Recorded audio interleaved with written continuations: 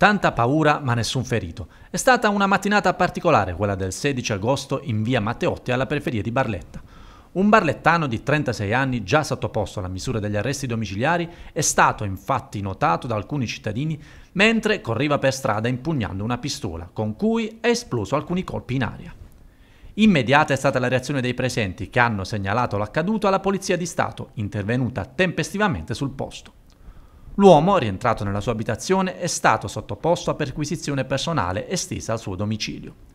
In corrispondenza del balcone dell'appartamento, gli agenti hanno rinvenuto un bossolo di cartuccia calibro 9 mm corto, che mostrava segni di una recente esplosione.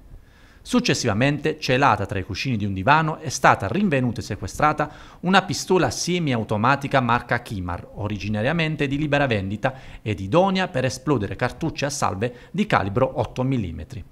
La stessa, tuttavia, dopo un attento esame, è risultata essere stata modificata nella parte della canna e della camera di cartuccia, tanto da essere trasformata in un'arma comune da sparo calibro 9 mm corto.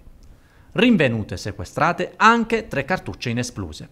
La pistola, priva di matricola di punzoni che ne attestino la conformità, è classificata quale arma clandestina. L'uomo, arrestato per detenzione di arma clandestina e sparo in luogo pubblico, si trova ora ristretto nel carcere di Trani.